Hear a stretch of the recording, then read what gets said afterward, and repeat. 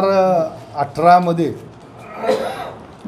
आळं आळंदी पंढरपूर आणि देहू पंढरपूर हे पालखी मार्ग संत ज्ञानेश्वर महाराज पालखी मार्ग आणि संत तुकाराम महाराज पालखी मार्ग करण्यासंबंधीचं दळणवळण मंत्री गडकरी साहेबांनी घोषणा केली होती. त्याच्यामध्ये राज्य आणि केंद्र या दोघांच्या समन्वयामधून हा मार्ग करण्याचं प्रस्तावित केलं होतं. मग ते करत असताना आपण नेहमी बघतो की आळंदी आणि तो देहूवरून येणाऱ्या वारकऱ्यांना रस्त्यावरती अनेक हाल अपेष्टा सहन कराव्या लागतात. पावसाचा दिवस काळ असतो. अशा वेळेस एक कायमस्वरूपी चांगला महामार्ग त्या ठिकाणी व्हावा.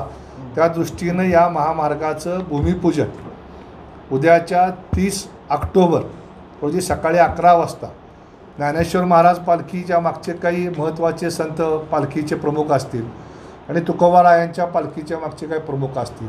आणि पंढरपुरातली जे काही मठ संस्थानं आहेत प्रामुख्यानं त्या सर्वांच्या शुभ हस्ते आणि माननीय नामदार नितीनजी गडकरी साहेब माननीय उद्धवजी ठाकरे साहेब उपमुख्यमंत्री अजितदादा विरोधी पक्षनेते देवेंद्रजी फडणवीस साहेब चंद्रकांतदादा पाटील आणि ह्या तिन्ही मार्गावर दोन्ही मार्गावर येणारे खासदार आमदार आणि प्रमुख यांच्या उपस्थितीमध्ये करण्याचं नियोजन हे नॅशनल हायवे अथॉरिटी ऑफ इंडियाच्या वतीनं आहे.